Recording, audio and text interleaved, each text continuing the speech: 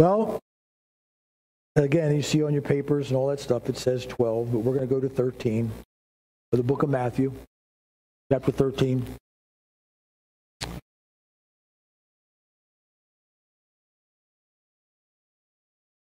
And as you get there, we're just going to read verses 33 to 35. And as you get there, would you please stand with me as we read God's word? Matthew chapter 13, starting in verse 33. He told them still another parable. The kingdom of heaven is like yeast that a woman took and mixed into a large amount of flour until it worked all through the dough. Jesus spoke all these things to the crowd in parable. He did not say anything to them without using a parable. So was fulfilled what was spoken through the prophet. I will open my mouth in parable. I will utter things hidden since the creation of the world. Let's pray. Father, again, we thank you for your word. And that word, we pray that you will make it alive to us this morning, which you always do if we allow you. That it is spoken, that you will reveal hidden things to us, Lord God. Uh, that you'll bring them to light in our lives. New truths, new understandings, Father, of our walk with you. To draw us closer to you and to equip us and encourage us to follow you. And you know where we're at in our journey, Lord. Thank you for meeting us here and where you're going to take us. In Jesus' name, amen. You may be seated. Bless you. Here we have Jesus going back to Galilee, and he takes everyday life and illustrates the kingdom of God. Now, it's interesting, smaller towns, they, their villages, they didn't have bakers. And so women made their own bread at home, and a lot of times they did it anyway. And, and Jesus, no doubt, often thinks of his mom, Mary, making bread. And understand, taking a, the, the, the fermented, the, the one loaf of another, baking and taking it off and fermenting it and letting it rise. And when the leaven was mixed into the new batch of dough, it changed the characteristics of the dough. That is, the dough rose and made full loaves of bread when baked. So Jesus observed that just as leaven changed the dough in which it is mixed, God's kingdom likewise changes everything with which it comes into contact. So as we think about that this morning, this passage, there is some controversial. It's a, a little difficult to inter- interpret uh, the difficulties of it. Um, because, see, often leaven is symbolized uh, in, the, in the Jewish people as an evil influence. In fact, every, there's elsewhere in the New Testament uh, that Jesus advises his disciples to, to beware of the leaven of the Pharisees and of Herod over in Mark chapter 8. Paul twice uses the phrase, a little leaven leavens the whole loaf, the whole lot. The whole lot. As he exhorts the Christian people to separate themselves from all things that can in any way influence for evil. Over in 1 Corinthians 5 and Galatians 5. So, and if a Jewish proselyte in other words, someone who came into Judaism and uh, started in Judaism, relapsed into his pagan ways, the rabbis spoke of it as having returning to his leaven. So there again, we have leaven is used as uh, evil or bad. But here, uh, we will show here that this is not the case here. This is another direction of Jesus using everyday things to look at good influences because what we have to do is we have to think about taking a long look at things. Because a lot of times as Christians, we today, we need success immediately. Sometimes you hear talk about we're like a, a, a microwave generation. There you just put in beep, done, man, we're ready to go. I don't want to wait for anything. I don't want to have to, you know, wait for my reward. And some people believe that Christianity means that all our problems are immediately solved and prosperity will come by tomorrow afternoon. That's not true. A lot of you going, no way, I don't know what Christianity you're talking about, but it's out there. That prosperity, there's some things out there, oh, all your trouble should go away. And, you know, if you have enough faith and all that, that's not what my Bible tells me. And I haven't lived it. And I know anybody else that really honestly lived that. Because, see, when we receive Jesus Christ as our Savior, the guilt of sin is dealt with on basis of Christ's death on the cross and his resurrection. His resurrection from the dead. So this should bring immediately, this brings immediate peace with God, right? When you accept Jesus as Lord and Savior, you have immediate peace with God. Because before that, you have no peace with God. And so as we have immediate peace with God, because we know that we will and we shall not come into condemnation because in Christ Jesus there is you're not you, there is no condemnation for those who are in Christ Jesus that our sins are under the blood of Christ. Now we can be convicted because of our sinful behavior and as our change, but you're not condemned. Personal problems, however, still must be dealt with on a day to day basis. So the glorious truth, however, is that it is it, it, that ultimately we do have assurance of victory. I mean, daily life or things got to be, but long term, looking out there, there is victory. Knowing that we're going to win the game provides help in times of need. And it strengthens us. If we're going with the game motif, it strengthens us for every inning. Right? The game's won in Christ Jesus. But we got to play the game. We got to keep playing every inning. And through that, through every inning, the long look of understanding that we win, or I win, you win the game, the long run, to understand though that that will help me hold on. And so the Bible, the, John wrote to a struggling church in Asia Minor that the devil shall cast some of you into prison that you may be tri- tried, and you shall have tribulation. These ten days. Be thou faithful unto death, and I will give you a crown of life. God saying He's going to give you a crown. We be faithful through it all, through the temptation, through the through the tribulation. John was trying to say, just saying, take a long look. Look at things out there farther instead of just snapshots for today. don't just set your eyes on short term goals. Sometimes we look short term, we're like, oh man, this is terrible. What's going to happen is this doesn't work out. We got to look long term beyond that. You have short term goals. I'm not saying, okay, I'm not going to worry about it.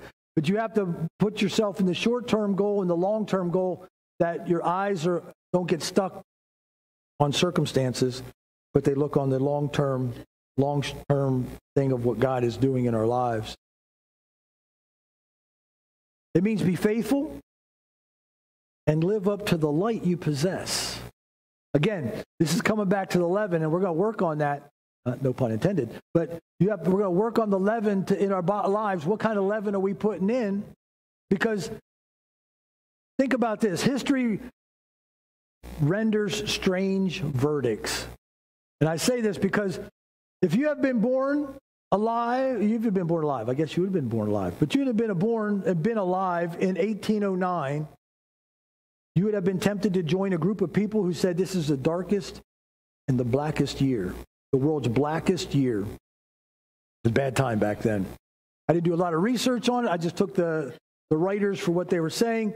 And, uh, but everything seemed to indicate, and this was a time when the, the world had no future. Europe was uh, on the borderline of complete frustration, ready to throw in the towel because Napoleon, he was uh, dominating the entire continent and making plans for further conquests, and the cause for freedom and social progress seemed hopeless. The truth is, though, however, God was at work. God's always working in the midst of all this. In that year, Abraham Lincoln, William Gladstone, and Oliver Wendell Holmes were born. So we're thinking bad. Look, this is terrible. Oh man, nothing's going to happen. And here come Abraham Lincoln was born that year, and look what he did. Oliver Wendell Holmes, and, and I'm not sure about William Gladstone. I'll admit on that one. I wrote that one down. Didn't know about that. So, but these famous men were born on that year, and so as Christians, we can put our faith in the fact that history will vindicate our trust in Christ. You believe that? Polycarp, a Christian martyr, was put to death by the middle of the second century.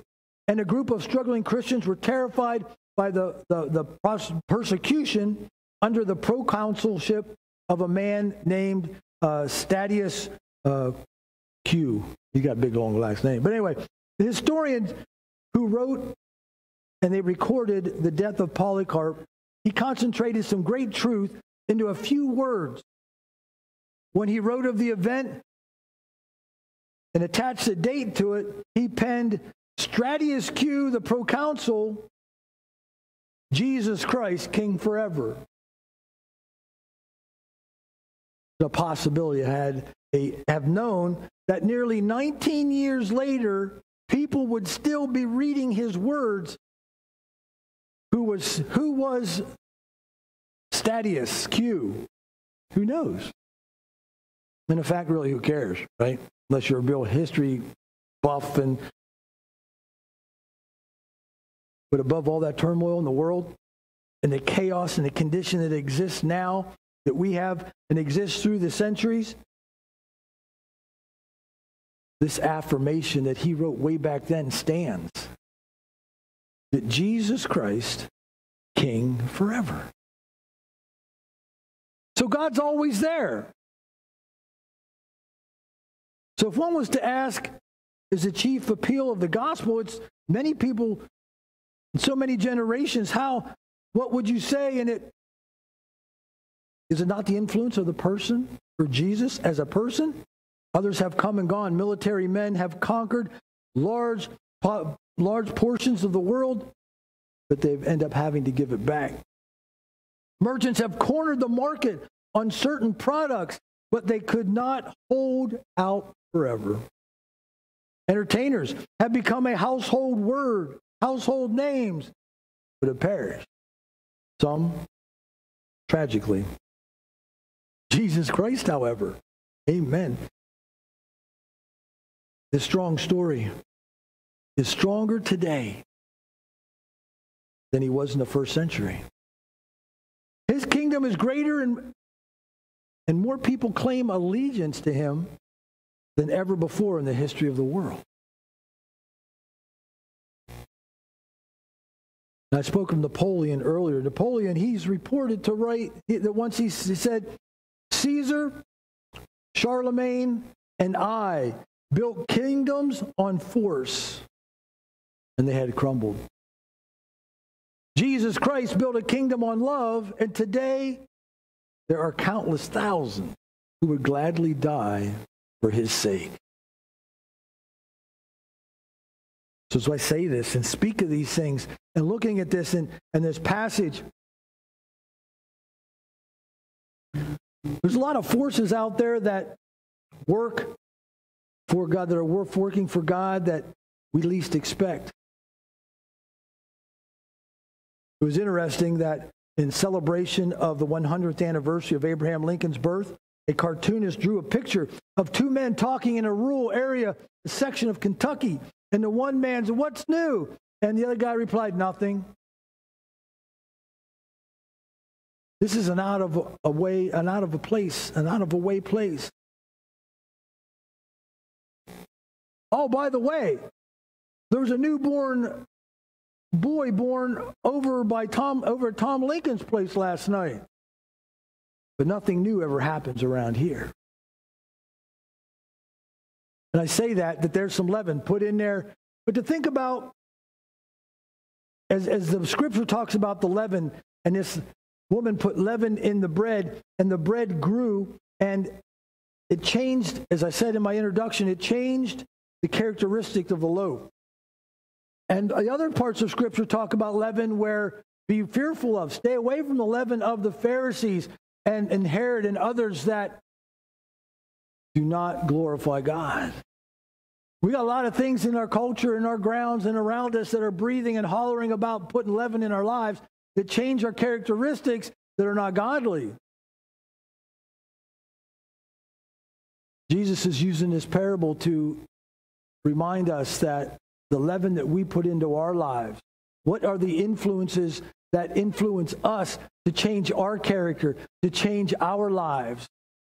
Are they of the world or are they of the word? Just a little bit. Ladies and others who cook and know, you know more about this than I do. Okay, because I'm not even going to start to say, oh, you put this amount of much in for that much. No way. I'm not going there because I'm wrong. So you know how much it just takes a little bit, right, of, of yeast to put into that bread and to mix it all up and it just grows. I mean, now you can put too much in, right? I guess I best say could go, but but it's interesting that when she when this was done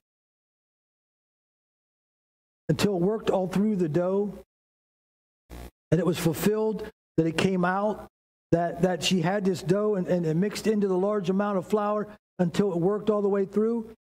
And he spoke these things in parable. And to understand that what comes into our again, it's it's it's not real hard. It's what are you putting into your life to make your character? What is your character coming from? Is people see that your character is more from the world or is it more from the word? Is it something that we're able to that we speak into us?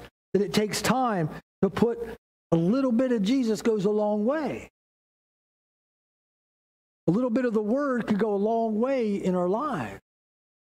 A little bit of prayer can go a long way in your day.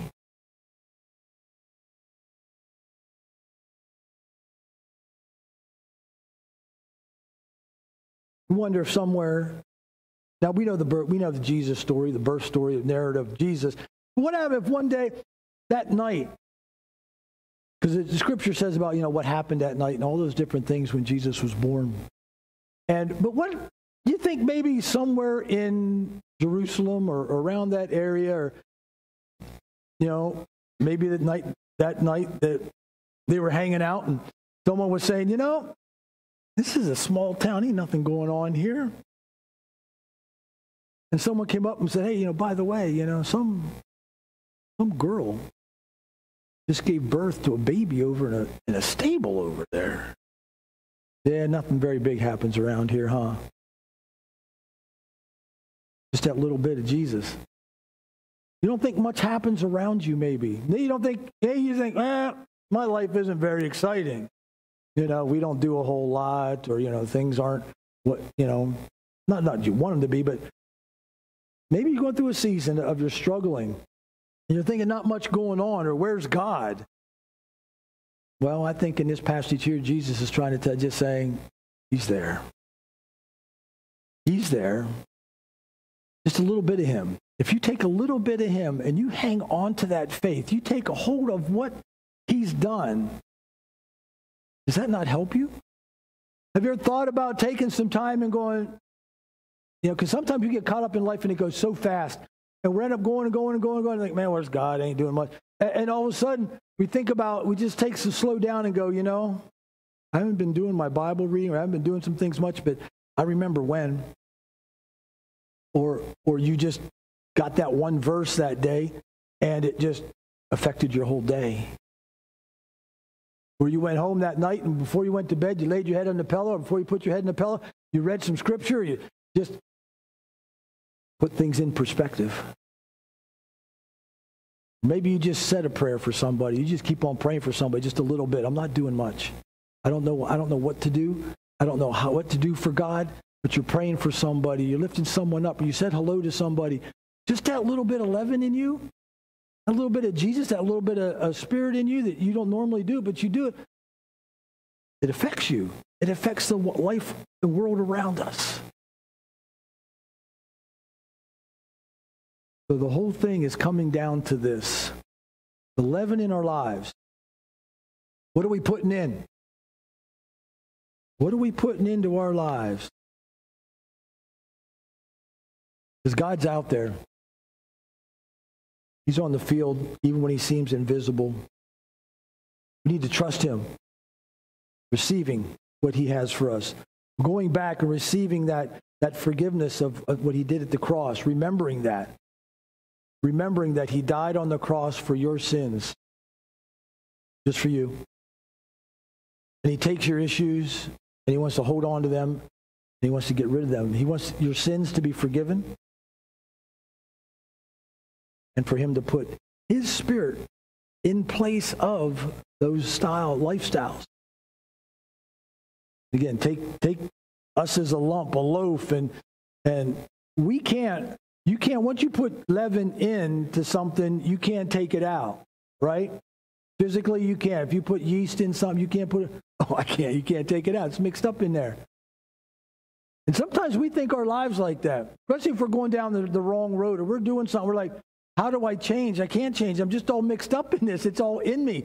You ever hear? You, I, I've probably done this when I was before I got saved, but it's just who I am. Sometimes even say it's just who I am. The way God made me. But if it's sinful and it's not right, not giving God the glory, then it is in you, but God can take it out of you. God's the only one can take the leaven out, the evil, that messed up stuff out of us and put his leaven in, put his yeast in to change our characteristics and our lives. It comes down to will we let him? And as we let him, do we allow we others will see that there's different stuff in us our characteristics and our characters changing. Now, he'll use your personality, he'll use who you are, and those things that you have. But it'll change you because you'll start seeing Jesus to be a different way. And we all do that. And so today, I don't know where you're at. But again, it's the opportunity to say, Jesus, here I am. You know, there's some leaven in me that eh, it's just it's part of my character and I can't change it. We have to ask him. And today might be that day. God, you know that issue that I've been having. Could you help get that leaven out and put more you in? And that is ask for forgiveness, ask to change, and when that changes, then you have to put him in. You got to look in the Word. You got to start doing some praying and reading the Word and, and asking someone to, to help you maybe walk that walk. But that change will come as you allow Him to come in. Believe what you read, believe those different things, and see how He will change your character. So I pray that for you this morning. And as we close in song, allow the Holy Spirit to speak and understand that, again, God, I want to put the good leaven in. I want to put your good yeast. I want to put you in me, the Spirit in me, and help get rid of the other stuff that doesn't help my character be the character you want to be. And y'all can be characters, amen? I know you're characters, but you want to be a Jesus character. Serve a living Savior. God's Word's alive, He's alive, His Spirit's alive. We can be alive in Him. We allow Him to change us.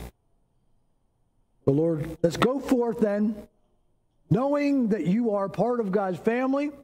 We're going to go forth proclaiming the praises of God, go forth in the assurance that Christ is always with us, and go forth to bring the kingdom of God wherever we are.